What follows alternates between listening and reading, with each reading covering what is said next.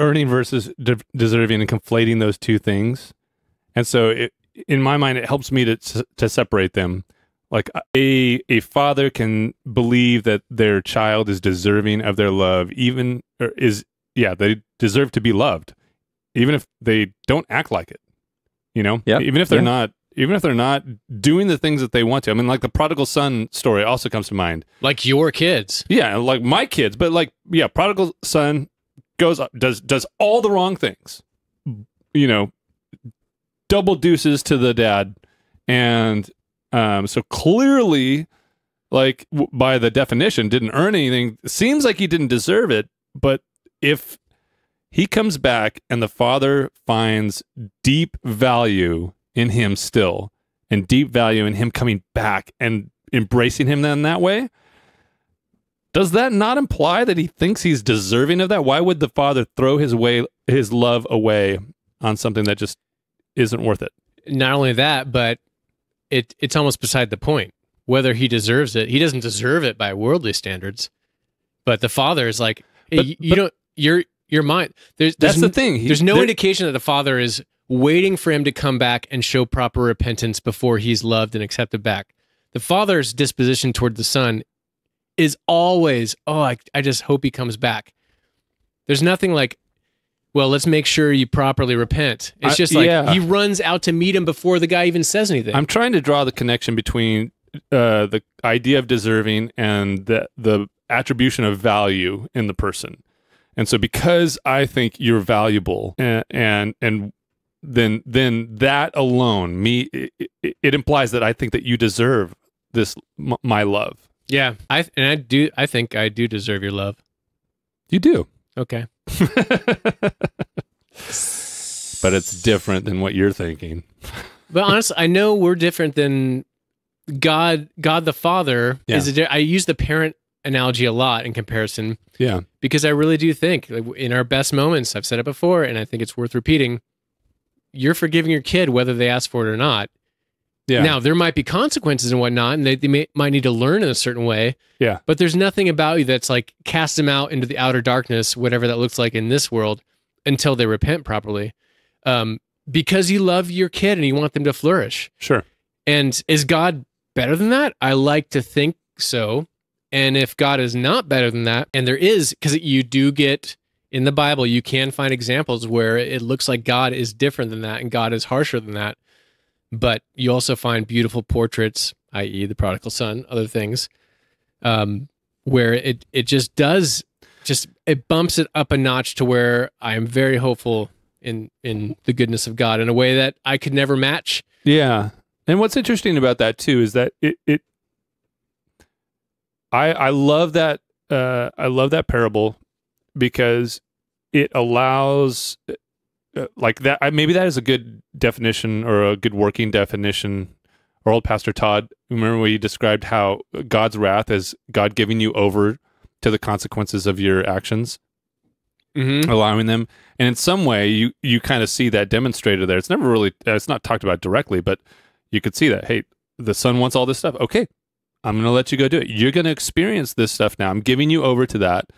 And he goes and he does it and it's terrible and he hates it and then there is repentance he does come back and it's like hey i i screwed up i screwed up big time i don't deserve to be here Yeah, that's an interesting angle to look at it.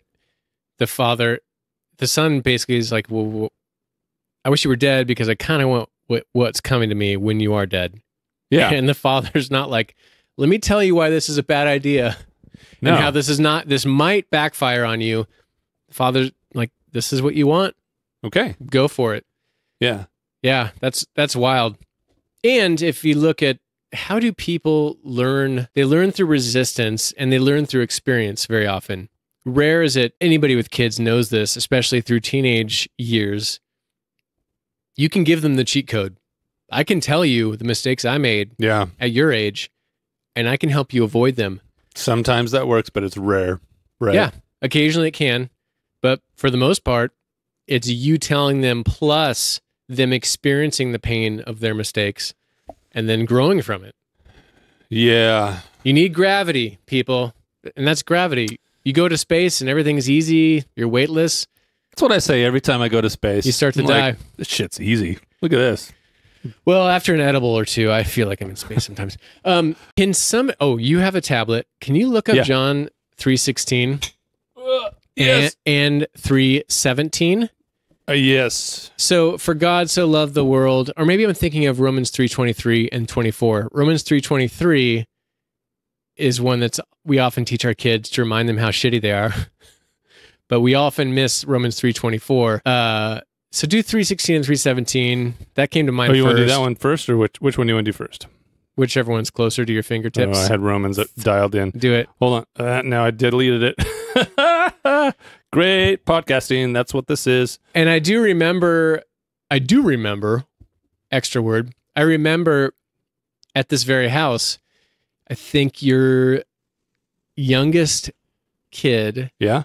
got back from VBS and told you, "Oh, we memorized a verse," and you're like, "What's the verse?" And it was the Romans passage, Yeah. which is, Oh, for all have sinned and fallen short of the glory of God. and then it ends right there. Would you read the next verse?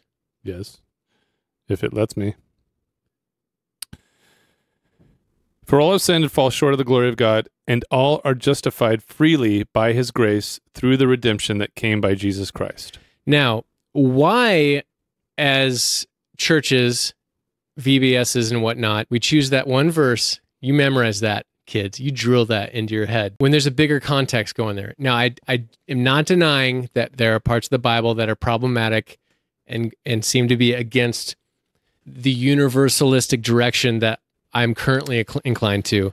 But it would be worth piggybacking those two verses together Yeah. instead of like telling kids like Yeah. you're terrible you're worthy of destruction and i don't believe that's true full stop but i understand the traditional christian romans road gospel presentation of like you there's nothing you can do to save yourself and so you need jesus and and some of that i i believe in in a way that i would probably interpret a little differently but it is notable that we just we push that as christians and this is related to the worship song Yeah. you don't deserve it you don't earn it let's make sure we remind ourselves about that daily Yeah. and i i don't think it's healthy there's probably healthier ways to do it but Yeah. ultimately my kids knowing i love them no matter what is and i'm going to help them work through their mistakes is better than if you fuck up then i you might be out Yeah. To be fair, though, other to people, be fair other people's little kids are the worst. they should be told that. i agree especially like three year olds Yeah. yeah The three year old boys, all they want to do is punch you in the crotch. That's Yeah. all that they want to do. and then they discover their wiener and they just like Punch themselves in the crotch. all right. John three sixteen and 17, or did we uh, uh, just do that and did, see did we do what you wanted to do? Just just do that and see what comes of it All right, let's do that. John 3 16 through 17. This is why tablets haven't really taken off because they're not easy to type on.